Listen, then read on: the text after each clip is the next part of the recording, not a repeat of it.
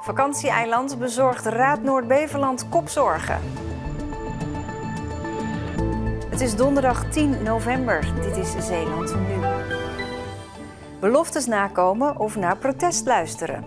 Nieuwe Sloeweg krijgt viaduct en rotonde. Speelfilm wordt opgenomen in Zeeuws-Vlaanderen. Dag dames en heren. Het is een duivels dilemma voor de gemeenteraad van Noord-Beveland. Het schiereilandje in het Veerse Meer. Moeten ze luisteren naar de protesten tegen het plan en tegenstemmen? Of moeten ze hun beloftes nakomen aan de ondernemer die het wil aanleggen? Vanavond debatteert de raad over het vakantieeiland. Dit is het plan waar het over gaat. Recreatieonderneming De Zeeuwse Lagune wil op deze plek in het Veerse Meer een eiland aanleggen.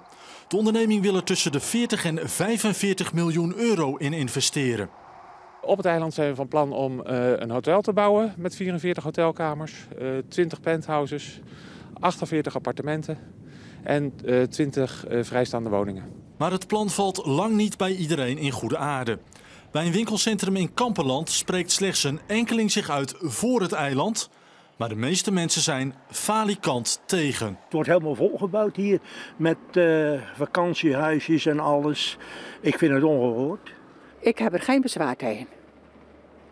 Ik denk dat het toch een upgrading is voor de, voor de Veerse Dam. Nooit te doen. Ze halen het leuke van het toeristische van Zeeland helemaal weg. Gewoon doen.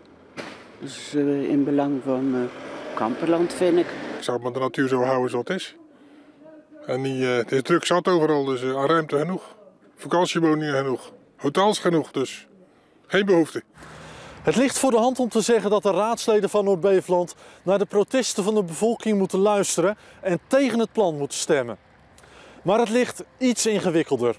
De ondernemer die het Schiereiland wil aanleggen is al 13 jaar bezig met zijn plan voor de Veerse Dam.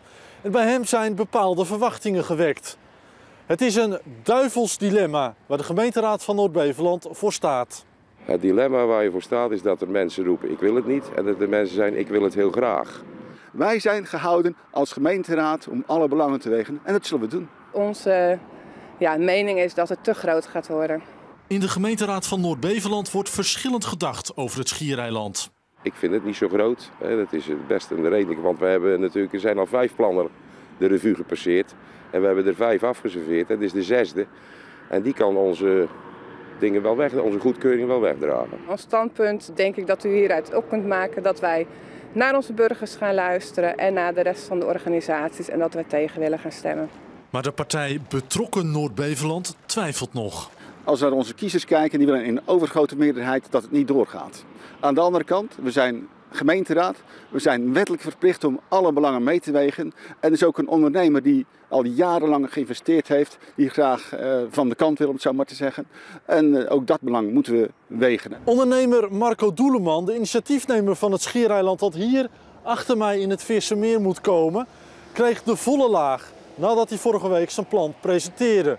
Op social media gingen mensen los op hem. GroenLinks in Provinciale Staten zegt dat ze plan de prullenbak in moet. En ook Tweede Kamerleden hebben zich uitgesproken tegen het idee. Zeker nu Nederland bezig is met het maken van een kustpact om een rem te zetten op het volbouwen van de Nederlandse kust. Voor de beeldvorming, hoe groot wordt het eiland? Het eiland zelf uh, wordt 31.000 vierkante meter. Dus zeg maar uh, een goede drie uh, voetbalvelden. En procentueel op het totale oppervlakte van het Vierse Meer is het te verwaarlozen. Ondernemer Marco Doeleman zegt de emoties die loskomen te respecteren, maar hij ergert zich aan de karikatuur die de tegenstanders van zijn plan maken. Het lijkt alsof we de eilanden die in het Vierse Meer liggen gaan volbouwen, wat beslist niet het geval is.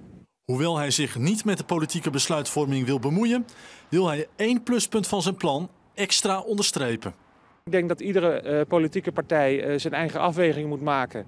Uh, en een gemiddelde zeeuw ook wel snapt dat dit ook economisch goed kan zijn voor Zeeland. Een rondgang langs alle partijen in de gemeenteraad van Noord-Beveland leert dat het plan waarschijnlijk steun krijgt van een meerderheid. Vanavond debatteert de gemeenteraad over het plan en over twee weken nemen ze een besluit.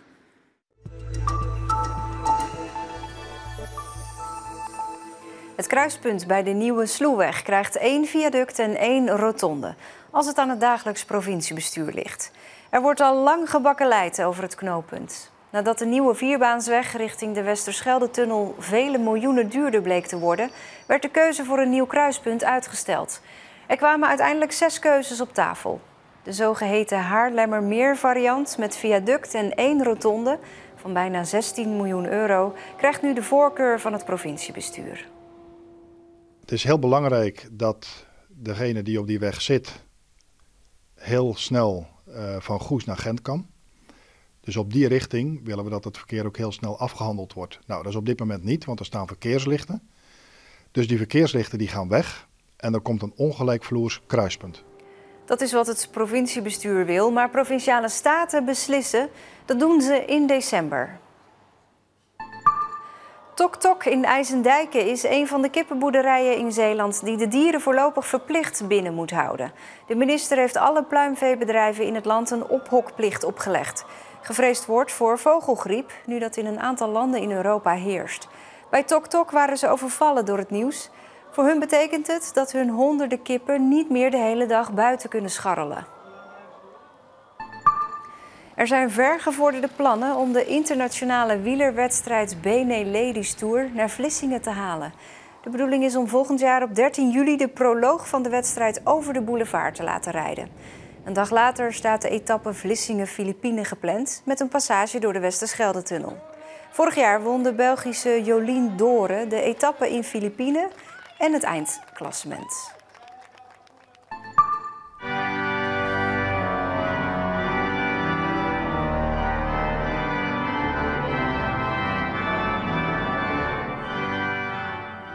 De hervormde kerk in Capelle viert deze maand een feestje. Het orgel van de kerk is namelijk jarig. 150 jaar oud is hij. We zijn er best trots op. Het mag gehoord worden.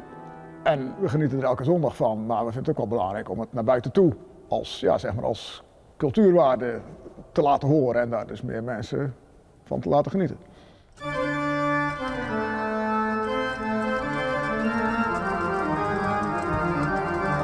Het is een kwalitatief verschrikkelijk goed orgel. Met het normale onderhoud gaat hij gewoon weer 150 jaar mee.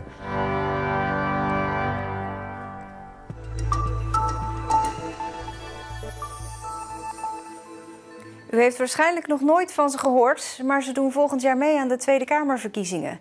De Kleptocratenpartij, opgericht door ontevreden Vlissingers.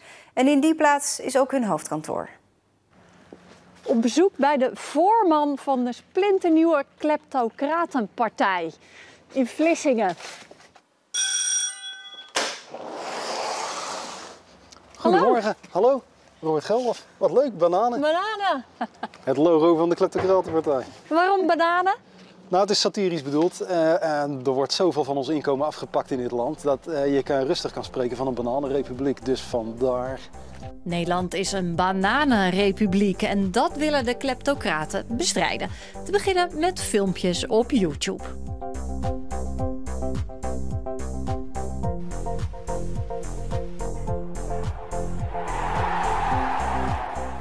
In de garage onder zijn huis maakt Robert Geldof zijn verkiezingsfilmpjes. De kleptocraten zijn modern, ze hebben geen verkiezingsposters, maar enkel filmpjes op YouTube. Geld in Nederland wordt gecreëerd met renteschuld altijd. Uh, wij vinden dit een onmenselijke praktijk en wij willen het afgeschaft zien, hoe dan ook. Waarom hebben jullie nou een nieuwe partij opgericht? Wel, er zijn heel veel partijen. Echter, uh, wat wij op de lijst hebben gezet, uh, zien we terug bij welgeteld nul. Ehm, wij hebben het over betutteling in de samenleving. Wij geven ook concreet aan wat we willen. De meeste partijen zeggen het heel in het algemeen van een leefbaarder Nederland. Dat is fantastisch. En wat bedoel je daar dan mee? Zeg eens concreet waar je het over hebt. En als je dat niet kan, uh, ja, dan ben je in mijn beleving ook geen, uh, niet echt legitiem bezig. Dus uh, wat dat betreft zijn wij uniek. Heeft u last van de volgende symptomen? Achteruitgang van uw inkomen.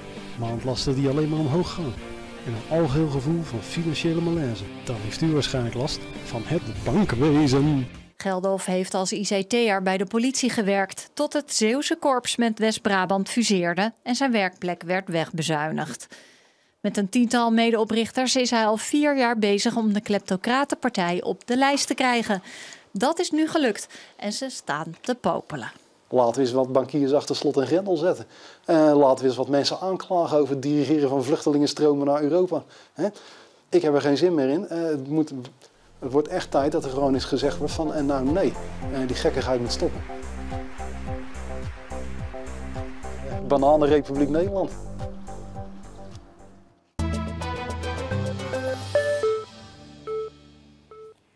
Het begon met een droom. Wat zou het mooi zijn als er een echte speelfilm opgenomen zou worden in Zeeuws-Vlaanderen?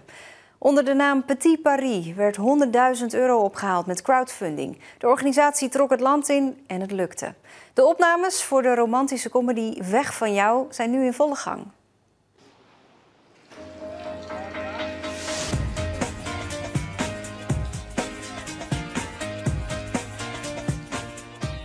Het wordt misschien wel dé Nederlandse bioscoophit van 2017.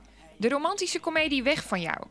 De film gaat over de Rotterdamse Evie die voor haar werk verplicht naar Terneuzen moet verhuizen. Ja, nou Evie die komt uit eh, Rotterdam en is nogal een stadse vrouw. En eh, die denkt eigenlijk dat ze voor haar werk eh, naar Rio gepromoveerd wordt. En dan blijkt ze naar Terneuzen gepromoveerd te worden. En dat vindt ze in eerste instantie een ontzettende teleurstelling. Want ze heeft zich zo verheugd op de grote stad. En ze vindt Zeeland niks en Zeeuws-Vlaanderen al helemaal niks. Ze weet niet eens waar dat ligt. Maar ze wordt natuurlijk verliefd op een echte Zeeuws-Vlaamse zeeman. Ja, ik speel uh, Stijn en dat is eigenlijk de, de love interest van de hoofdrolspeelster, van Katja. En dat is, uh, ja, ik speel een, uh, ik speel een Zeeuws-Vlaming.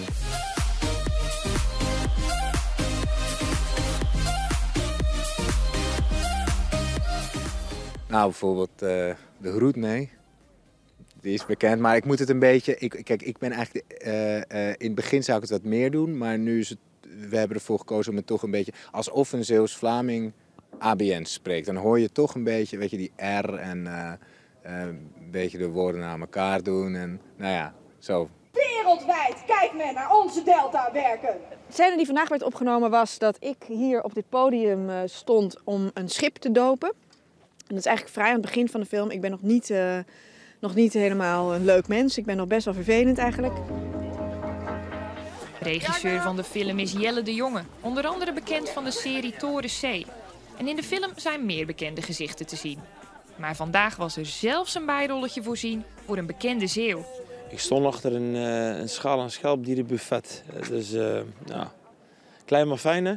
Dus u speelde eigenlijk gewoon uzelf? Ja, zoals altijd. Leuk om, leuk om het mee te maken en uh, ik denk dat het een mooie promotie is voor de streek. En Sergio is niet de enige echte zeeuw in de film. Er doen in totaal 200 figuranten uit de regio mee. En die vallen bij de crew enorm in de smaak. Ja, ze doen het echt heel erg goed. Je merkt hier gewoon dat ze veel enthousiaster zijn, minder zeuren, heel graag nog een keer willen komen, het niet erg vinden om te wachten. En ik moet zeggen, dat is in de Randstad toch wel uh, wat erger.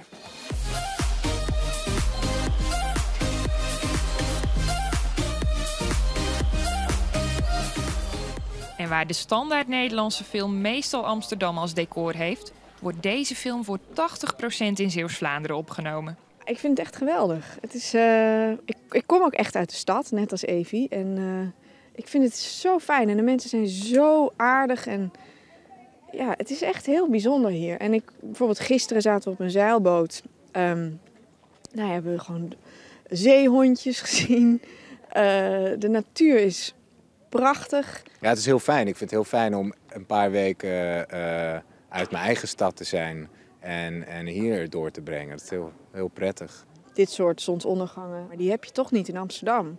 En uh, het water natuurlijk en ja, het hele authentieke karakter van de plekken waar we mogen draaien. We hebben bijvoorbeeld ook op dat, um, op, in dat gekke, uh, hoe heet het, stadshuis. Wat, nee, wat is het nou? Nou, dan weet ik niet hoe het heet. Maar we hebben in het gemeentehuis, volgens mij op het Beursplein, is het de beurs? Interneuzen. In ieder geval, super mooi verhaal. Mocht ik de details weten, maar ik ben ze vergeten. Hoedje.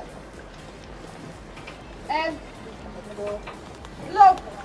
En wie nieuwsgierig is geworden, zal nog even moeten wachten. De film is najaar 2017 in de bioscoop te zien.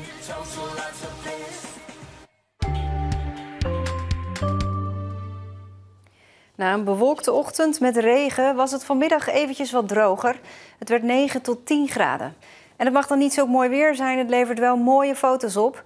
Overigens valt er vanavond en vannacht opnieuw regen. Morgen wordt het iets koeler, maar het is droog en de zon schijnt. En dat was Zeeland nu. Blijf kijken voor het Contacta-journaal met Carlijn. Een fijne avond, tot later.